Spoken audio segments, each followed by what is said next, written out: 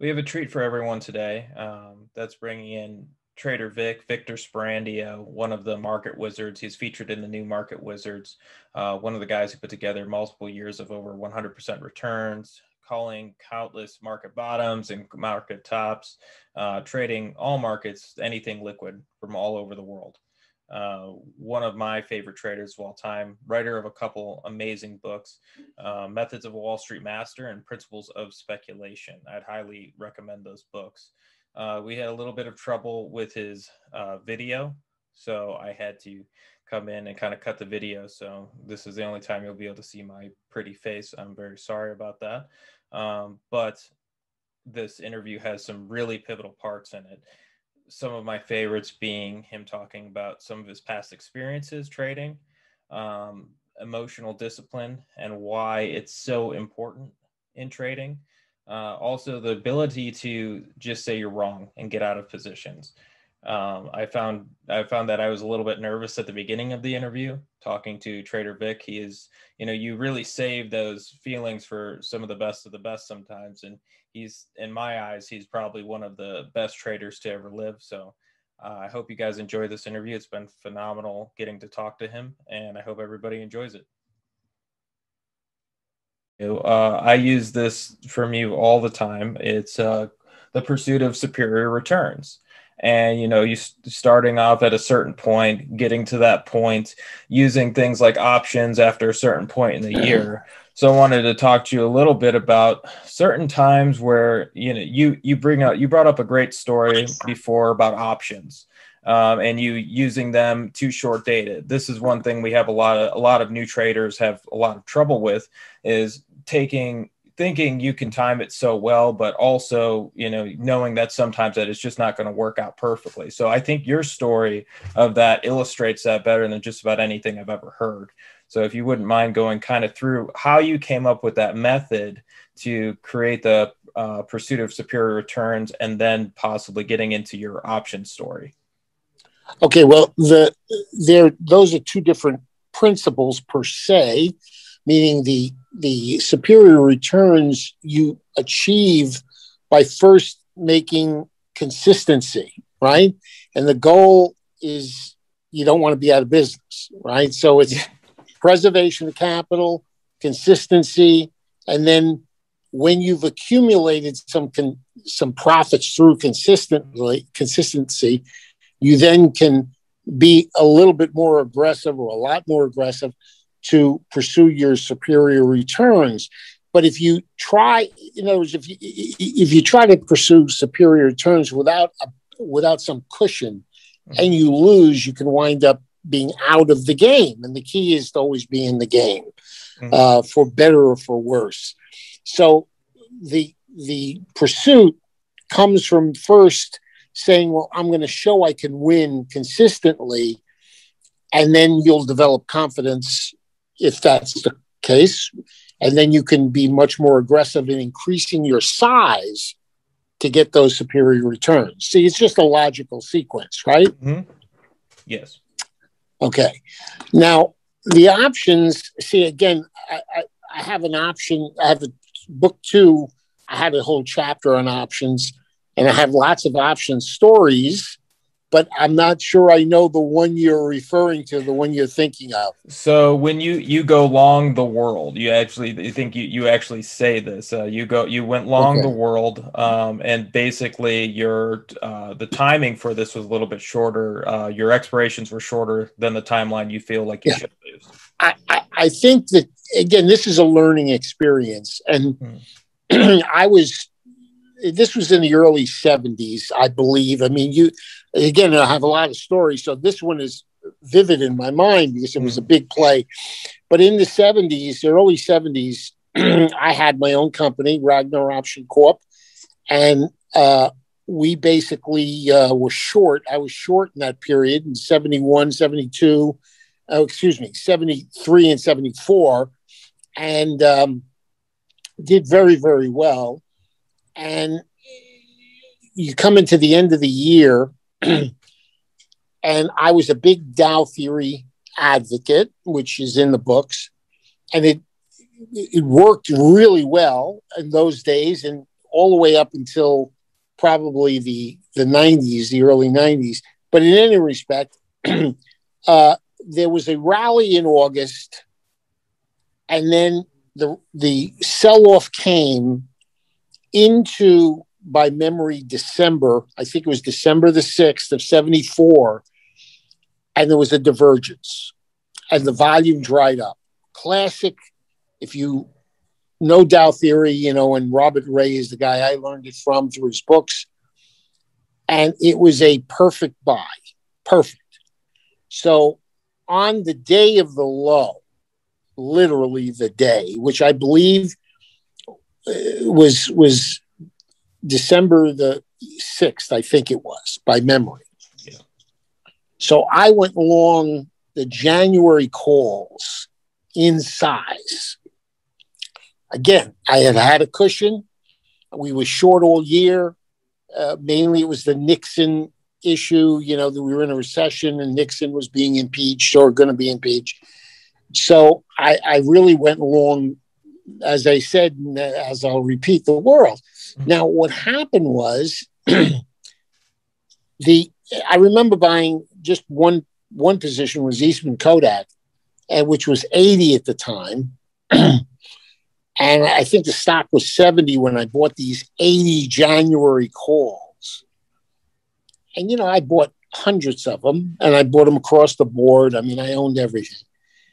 And sure enough, it took a long time, meaning there was a, a delay of this huge rally coming up. But I did buy the low. But what happened was those Eastman Kodak calls lapsed at 79 ish in that range. A week later, they were in the 90s. So it, it was, it, it, it told me that when you're buying options uh, and you you you let's say you're right you you need some time. So you can't be perfect. You should not try to be perfect. Now of course some people will be perfect by getting inside information. But uh, if you're trading and you're you're you're honestly just playing off of indicators the tape you know your your sense you you should be buying call options that go out at least two months and probably three. And you'll make a little less. You won't get the same leverage kick if you don't buy as many. I mean, those Eastman Kodaks could have been a hundred dollars. I don't remember what they cost, but and you could have bought the two months out for two and a quarter or two fifty, let's say. Yeah. Uh, you would have made a lot more, you know, would, would have been a much bigger success. Now, I had still had a winning year. Now I'm in January the following year, completely different thing. Of course, it's early in the year, and some of those, you know, mark to market, they're, they're, they weren't, they didn't get marked down uh, as much. So I still had some mark to market losses. But the key there was I, I called the low of the, of the 70s, 80s, the rest of the century. and basically, I didn't make a lot of money because I didn't buy enough time. So that was a real lesson. Yeah, that that's that's um, a phenomenal story, you know, and and I I know everybody has done it. You know, it's one of those things that you you when you when you start trading, let's be honest, you start to think you know some shit, and the market likes to teach you that you you really don't know everything sometimes. And I've done that just like you have, and and then listening to your story, I you know I didn't really put it together what I really did wrong the first time I did it, um, and then listening to your story was really helpful for me. And I know there's a lot of newer traders that you know they they I mean God they'll do it a week out you know and and be like I can't believe I got this wrong. it's like you know exactly what you said. It's it's uh you just want to give yourself that extra bit of time to get it right and that's going to help you really make that big return right right and timing timing and options is not a good idea because you really have to be perfectly right or generally right, mm-hmm. but you also need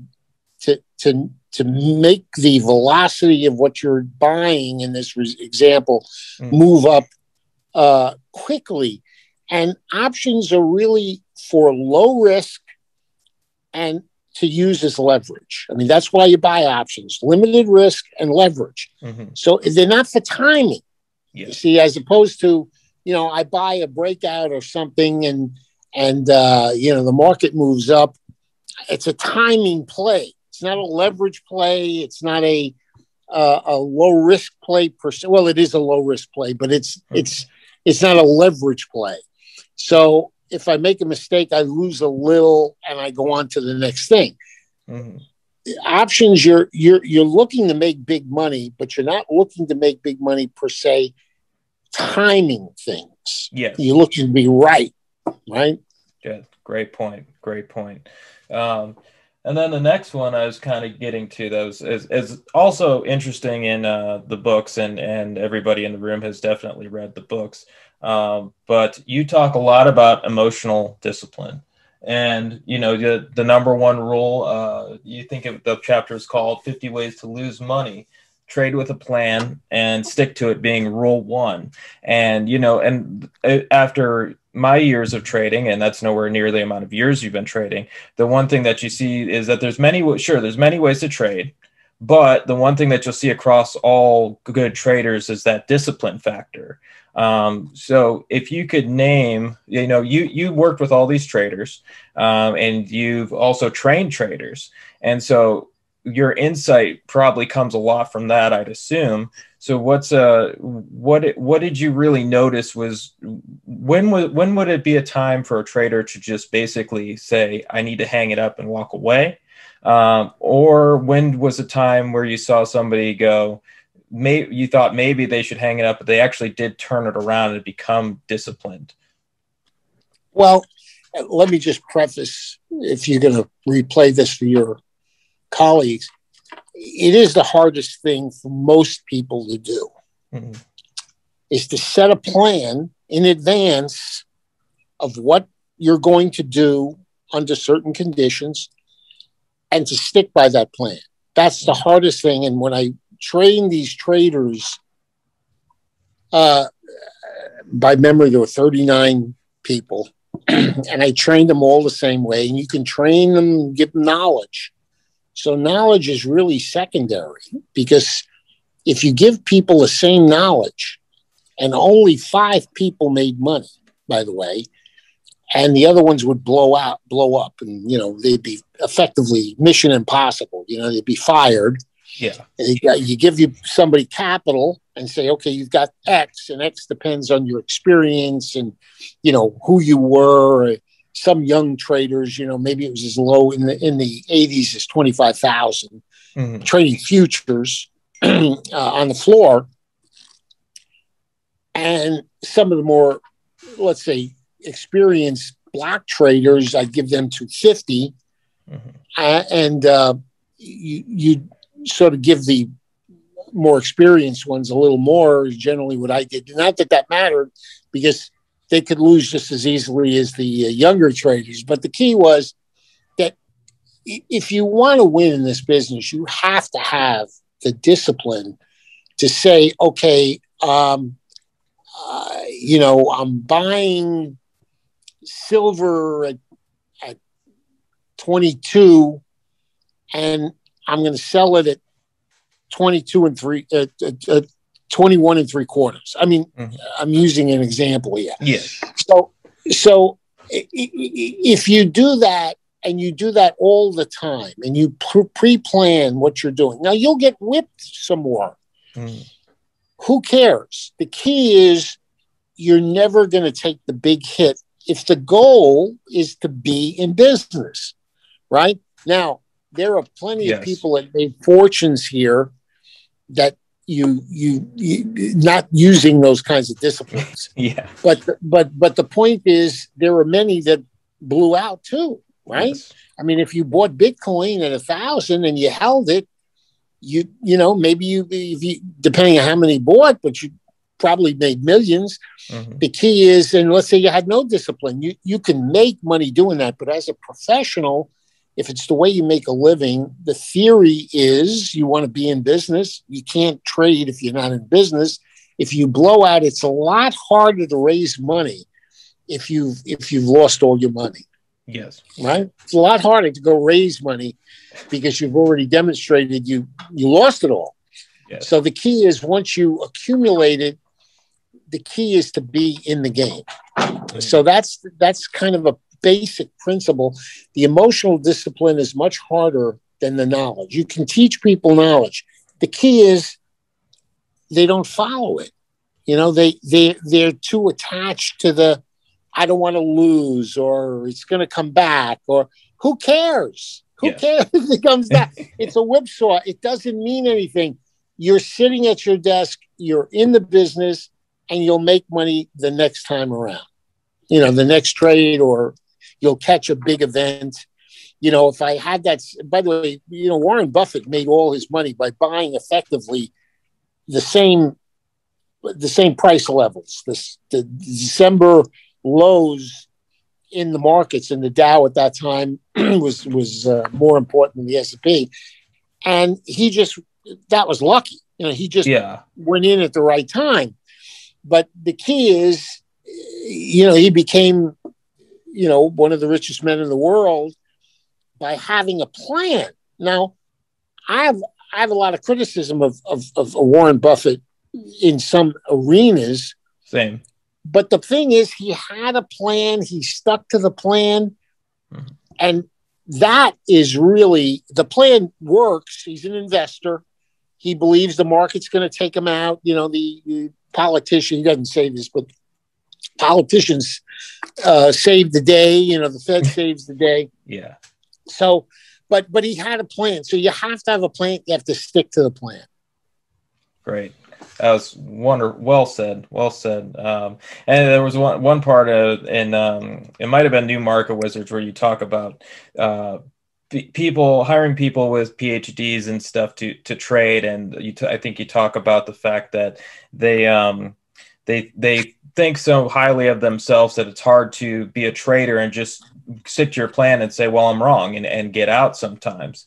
Uh, you know, just, I don't want to say the names of these people, but it was, it was, an interesting one that happened to me not too long ago, which was two PhDs trying to charge a car. Uh, one guy's a surgeon, uh, and they're both sitting there on the side of the road and they, they want to charge a car. They bring one car over, they decide that red must go to black, you know, and, and I, I went to automotive school uh, and automotive school, you know, we, we went through tons and tons of kids who, you know, the first day we'd come in, that's what we'd all do. And so going through all these kids, never one of them ever did that. He ends up hooking it up. He blows up his battery. You know, it's, it's just hilarious because, you know, it, it just sometimes they make it so overcomplicated. So it's really, that was a very interesting uh, thing you brought up that was in New Market Wizards just to kind of add to that. Uh, well, just to embellish on that story, just a tad, the point is usually these very bright people, IQ wise. Mm.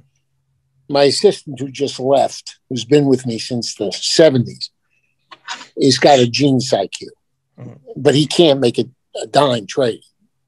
Now, the reason is if you ask this guy anything, he knows the answer. Whatever it is, you can ask him because he reads and he's got a photographic memories per se. Mm-hmm. So these PhDs, using them as you know high IQ, very learned people, they are right so often about so many things that they develop a very high self-esteem of, of themselves, which is fine. That's that's a good thing. Mm-hmm. But in trading, you could go and you can do research and spend months. Let's say you, I'm going to use an example in the automotive business.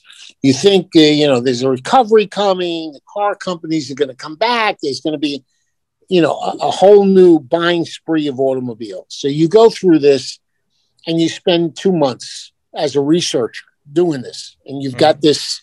You're you're a fundamental driver like a Warren Buffett type and you you come to this conclusion you go long so now here you are long the auto stocks you've researched and you're sure as rain that this is going to happen now something and here comes the, the the point something has changed something somewhere in the world has changed but you don't know that change because you can't know everything that's going on in the world that's hidden from you. So all of a sudden, the markets go the other way.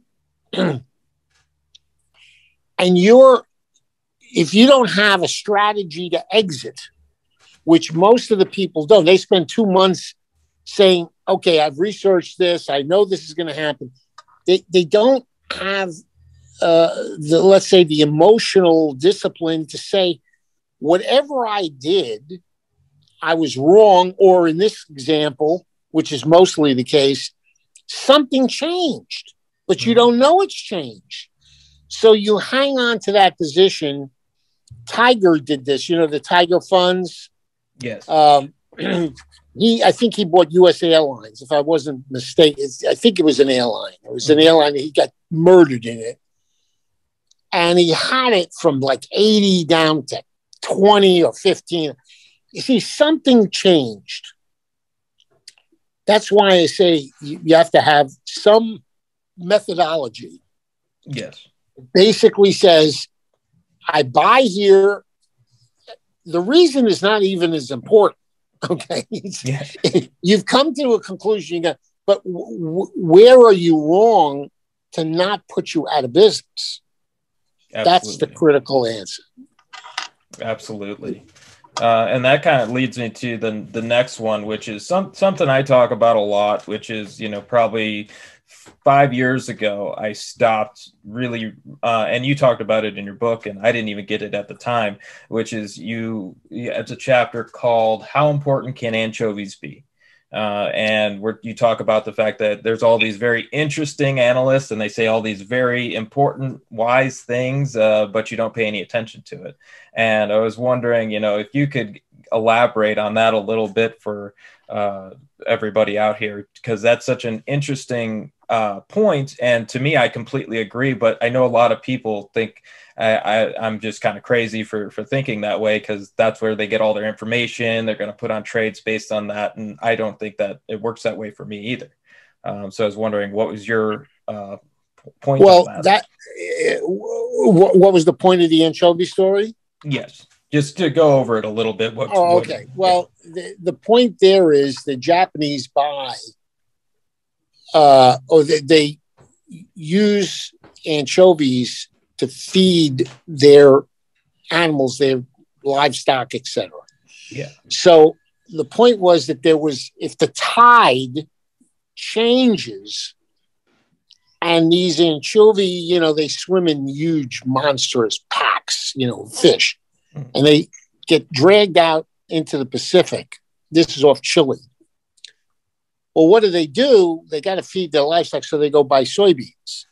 So if the tide changes, which you're really not going to know per se, you maybe if you you can hire people to tell you that, but I mean nobody thinks that way.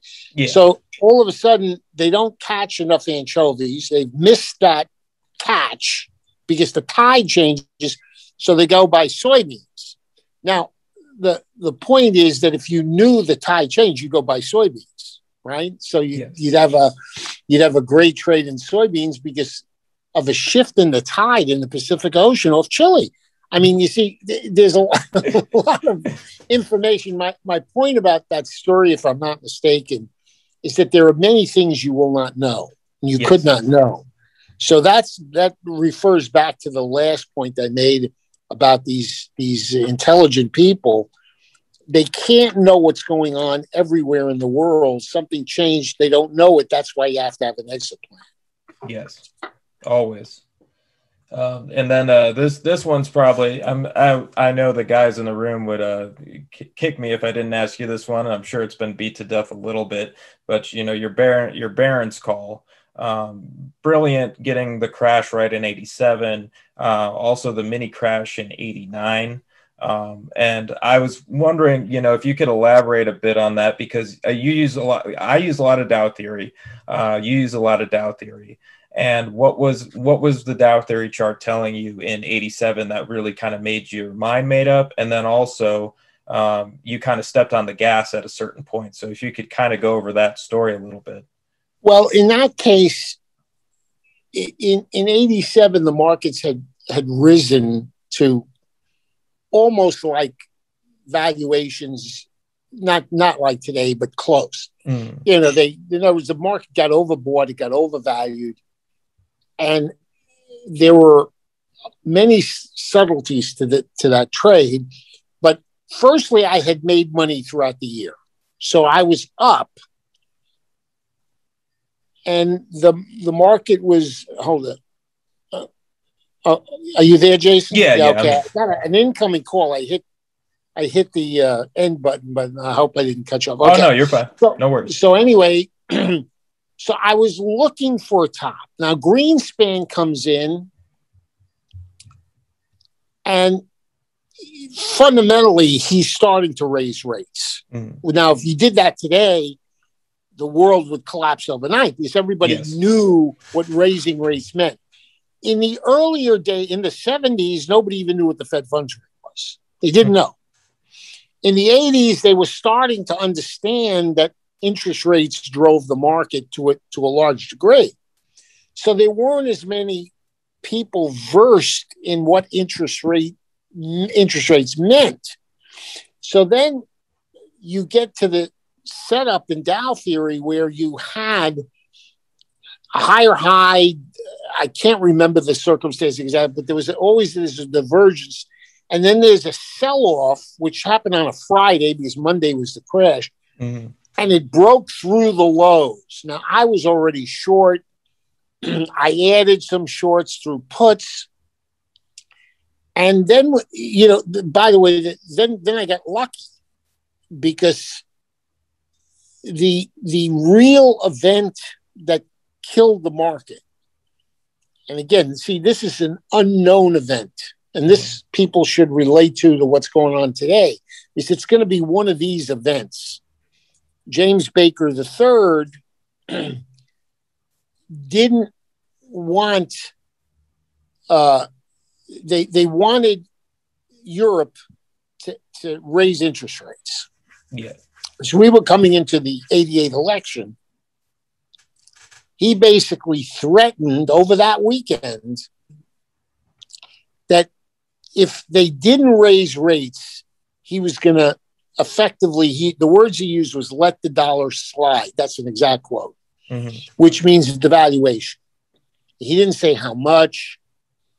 That's what really killed the market. But the setup was you had this overbought market, which, like you have now. Yes.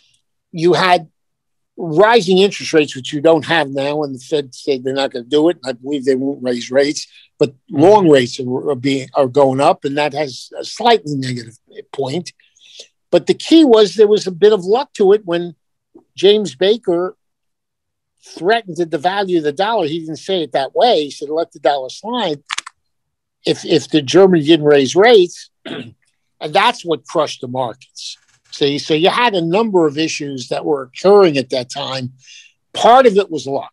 Part, although I think I would have made, see the late Friday sell off.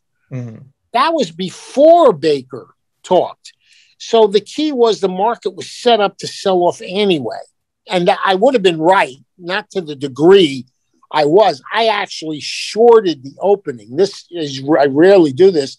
Mm-hmm. But the Monday opening, when I heard what he said, now again, I and I highly suggest that your your traders mm-hmm. use fundamentals as well as they do technicals. Yes, Some people do. weigh one or the other, but mm-hmm. the key was that when I knew when he he said that uh, that the market was going to was going to take a, a, big hit, so I shorted the S and P. These are the these were the uh, not the mini futures. These were the original yeah. futures. You know, five hundred dollars a a point. That, yeah. and I shorted five of them, just five, because I was already short, and I yeah. shorted down fifteen handles, and I made two hundred fifty thousand on that trade, just because I understood the fundamentals. Yes, you see. So what what paid me on that piece of the puzzle was knowing what it means if you're going to devalue the dollar suddenly, mm-hmm. which is what Baker was was was suggesting.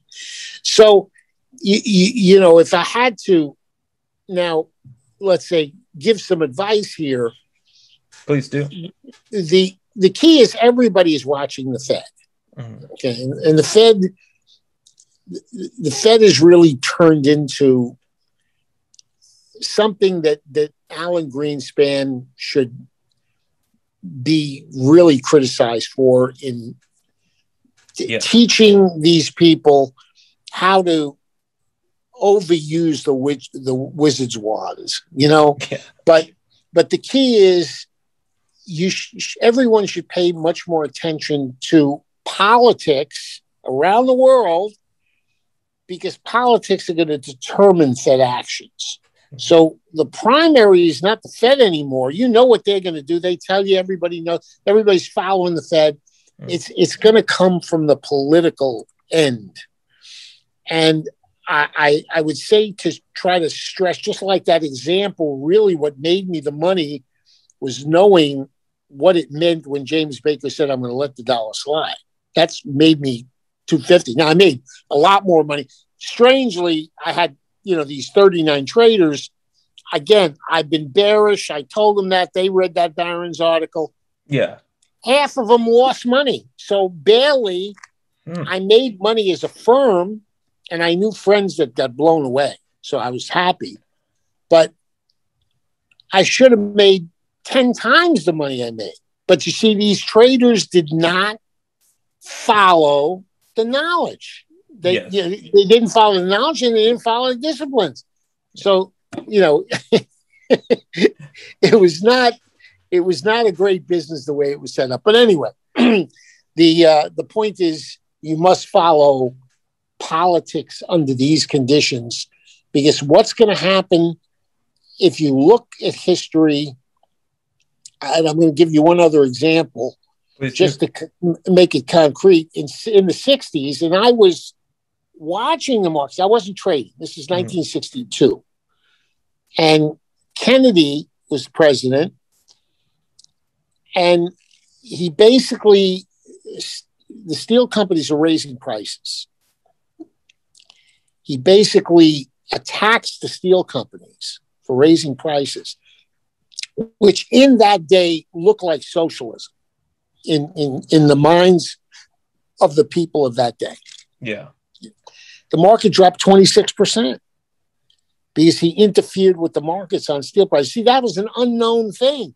Yeah. It, it, it really was not something somebody would have, let's say, made a call on that, you know, mm. he's going to say, uh, that steel companies shouldn't raise prices. It was the key there was it was interfering in the marketplace, and the market looked at it as socialism, the beginning of socialism.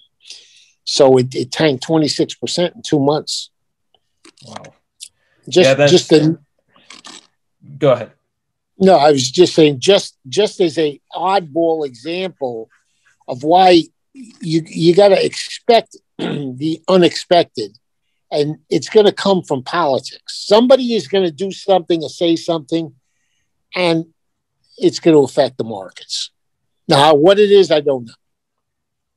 No, that's a great point, and um, you know, th- I think that's one thing a lot of people don't pay as much attention to, especially now. Everybody, especially uh, right now, like you said, it's this whole "oh my God, watch the Fed." The Fed's going to do this tomorrow. Yield curve control the tomorrow. Everything's going to happen. and and you know, as I know, is that most likely they're going to warn about it first. They're going to talk about it a little bit. It's not going to. They don't like to surprise the markets. So right. you know what you're saying is paying more attention to the outside forces, the unknowns, will probably be where one of these come from. Uh, very interesting. Great point there. And so getting yeah, into. Go ahead. Any anything the Fed does that's subtle, and I'm going to be very honest, this was a critical thing, and I missed it at the time when the Fed was paying res- interest on reserves. Mm-hmm. Uh, they were supposed to start this in in in 211. They started in October of of 208, and basically it was we're going to put a lot of money in the system and paying money on reserves was paying banks not to loan the money. That's why there's no inflation. Yes. And that's why the velocity of money is at 60 year lows and dropping like it's going off a cliff. So the subtleties are to know the rules. And the rules are critical when it comes to the Fed. You got to look into them. I didn't. I didn't know exactly what that meant. It didn't seem important at the time, but it was critically important because I'm in the commodity business. Without inflation, I don't make any money. Yeah. Right. So it's important to study these rules and to read a lot. And speaking about inflation and, and commodities, so you know that for me, this last year, based in 2020, we kind of saw the biggest deflationary shock we've seen in a long time. You got bonds had a blow off top on March 9th. You got uh, oil going negative, uh, the front month contract, and basically ever since, you know, commodities have finally really caught their footing. Um, and I'm a big bull on on the commodity market at the moment. Uh, you know, I, I know that there's there's going to be all types of structural errors in between, but we'll see what happens. I was just wondering what what are your thoughts? Why um, commodities finally are starting to perk up, given that the environment uh, is the way it is right now? Well, it, it is obviously the increase in the money supply and the Fed spending, the government spending, and fiscal policy mm-hmm. and the assumptions of inflation, and there will be inflation. And uh, the key is that that there's also going to be a slight offset to inflation numbers because they they rig those numbers, the CPI, Absolutely. and then they also you, you've got this mortgage and rental issue where they suspended that, so there's going to be an offset, which is deflation in that arena once they they say, okay, now you got to start to pay, and there'll be lawsuits, and a lot of people will default. I mean, you go down New York, Madison Avenue, those rents are are four hundred thousand a year, and those stores are boarded up. They're never paying that rent ever. So there's going to be a lot of deflation mm-hmm. through the the mortgage market through malls and stores that are closing and things like that. And then people are going to default on their mortgages and loans and you know it's it's it's it's a bit of an offset. But commodities are definitely going up in general. And probably the best cheapest buy and you know now i have positions here so i'm talking my book mm-hmm. just for the full disclosure is gold and silver are really the cheapest things you could buy today. You could throw in platinum, but I mean, I'd rather do gold and silver. Mm-hmm. And so to me, that's where one should look commodities and primarily gold and silver. If you look at lumber, mm-hmm. classic case, shortages, people buying re- residential housing, commercial, no residential housing, yes, they move out of the cities, so they're buying and building houses in the country, et cetera. And there's a shortage of lumber, which anybody could have figured it out if you looked, if you were aware. But then you had to go buy the lumber futures. You see yeah. what I mean? Yeah. And they, that's why I say you got to look to commodities because the lumber futures are up from 200 to 1,000. Uh, see what I got on my machine here by memory. But it was pretty substantial, and a lot of money could have been made. And uh, well, let's call it four hundred to thirteen twenty six. Yes, from from uh, October. it's it's, it's phenomenal. Just yeah. crazy. Uh, yeah, and actually, we we I myself at least, uh, you know, I put out my everybody in the room knows my book, but I have a lumber trade on. Have had two two lumber trades this this uh, one in 2020 and one this year, and you know, I would have never dreamed in a million years where where it ended up. Uh, but man, happy with it. Uh, but you're absolutely right. It's the commodities market is really to I and and that's another thing I've been talking about a lot is you know a lot of people kind of shy away from futures, and I really think that you know the, the next 10 years, it's something that people really kind of need to understand if you are a serious trader. Granted, you know, there's leverage, you can get blown out, you got to be real strict on your risk control and stuff, but you really want to be able to look at those markets, buy those markets, because there's a lot of opportunities in the commodity space. Um, and besides the commodity space, are you seeing any opportunities uh, in the markets? Which is you know kind of almost funny because there's there's there's always an opportunity but it's it's getting a little frothy at the moment. I love the yeah. i love gold and gold miners right now but besides those. Yeah the the the the stock market generally is so overpriced. I mean i see numbers in the 40s pe yeah. so i i i just don't you can't short it mm-hmm. because it's a runaway train but the value is not there. See, I could buy silver and gold and forget about it. You know, yes. I don't need to worry. It's an investment concept. And I believe silver will be 50 this year and gold will be 23 to 2400. And so that's my mentality, right? So that's the way I think. And by the way, before I forget, Jason, if you send me and I probably have it, but I'm just repeating it. Send me your email because I just wrote a piece on gold versus Bitcoin. Oh, and I, I, I, wrote it on Sunday. It came out. I write through this guy called the curmudgeon. Mm-hmm. If you look when you see it, you'll you have many pieces written in there. Oh, because cool. when I want to write something, he's a great editor, mm-hmm. and he's had this since the '90s.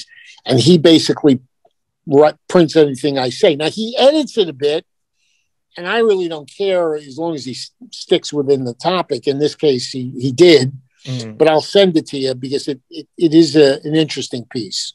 Beautiful. Yeah, I'd love I'd love to see that. Uh, that that's one we're kind of where we're at uh, right now is um, you know we're we're kind of in that home run mode type of situation at the moment, and now I'm putting on certain trades, uh, which is it's all gold because basically all I'm seeing is the same thing. Is right now you have gold miners, silver, gold at this great zone at the moment. Uh, fundamentally, technically, the any way you look at it, it's a beautiful buy right now, especially while everybody's kind of running into this whole Bitcoin is taking over the world type of scenario, which isn't true. But you know that's how markets are. You know falsehoods and lies, as as you've quoted before. Yeah, um, yeah. So so last question is basically you're you speak very eloquently and if anybody uh, hasn't seen this you know make sure to check out your your uh, views on hyperinflation. You have video on that. Um, right. moving towards you know we have all obviously like you're saying we're going to have these ebbs and flows and but uh, over the long term uh, do you still see the hyperinflation scenario playing out? Yeah i'm going to give you a, a definite clue. I've sort of written an update. Now when i when i first did that piece mm-hmm I basically said hyper, hyperinflation a statistical inevitability. I never called when. Yes. Because that is a psychological process. Yes, possible. I only know that the end game mm-hmm. from the government is hyperinflation. If you had hyperinflation, which you know is defined by this guy Phil Cagan as 50% a month, is hyperinflation. CPI 50% a month four months, you'd knock off 94% of the debt. Four yes. months. So they can't default. They're never going to default. So anybody that thinks bankruptcy that just have no concept of how governments work. Mm-hmm. They wouldn't let long-term capital default. I mean, they're not going to let the default. No, the nothing. key is yeah. the end game is hyperinflation. Okay, because it's quick. Mm-hmm. Like I say, four months. Anybody can live through four months of anything, right? Yes. So they'll wipe out. I mean, it'll be a disaster for a lot of people, but that's the end game. Now, when does that happen? I've filtered this down a bit to when mo- modern monetary theory kicks in. It's all over Biden's plan. Stephanie Kelton has you know, she's all over their manifesto for the, the Democratic platform. Yes. And so when they give you a thousand to two thousand a month to the bulk of the nation under 18, which about 270 million people ish, you'll get your hyperinflation. The reason you haven't gotten it is because if you give money to Bill Gates, he, what difference does it make? He'll just buy another company or invest it somewhere. He's not going to go out and spend it. You get hyperinflation through the turnover of money, through velocity, because mm-hmm. people are spending it because they don't want the currency. But yes. if you own stocks, stocks, if you look at Venezuela, they should do okay. And therefore, when you give money through QE, which is where a great deal of the money supply growth come came from, and you get no inflation, it's because you're giving it to the people who don't spend the money; they invest the money. So where's the inflation per se, or the price increases come from? From inflation. The inflation is printing the money. The price increases are the result. They go into housing and and uh, and, and the stock market. You know, that's basically yes. where it went. Beautiful. So said. hyperinflation will come when they give it to the people. And, and that's kind of already started a little bit, you know, and it's right. uh, it's we're moving that direction, and and I, I completely agree uh, with that uh, thought. And I know a lot of people, you know, they're they're on the fence about it, but it's like you know, we we we've kind of to me we've seen that almost psychological shift where not that I don't I I'll never know the exact timing of course but we kind of are seeing that psychological shift where we are starting to see that inflation coming in. People uh, you know once again everybody's still not admitting it's, it's happening. You know commodities are going to fall apart any day now is what they're all saying but it's it's very interesting. And and yeah once again i would like uh, people to definitely check out your thing on hyperinflation. That was really good. So uh, thank you so much for your time uh, one we always uh, ask one one more question which is if you were to give any advice to uh, some of the younger newer traders in the group um, wh- what would you say to them? Well, the the basics are pay more more attention to the technicals at this point because they will they're more honest. If you buy at 50 and you sell at 49, you can lose a hundred dollars. You know, you you've got your your system set where you can't go out of business.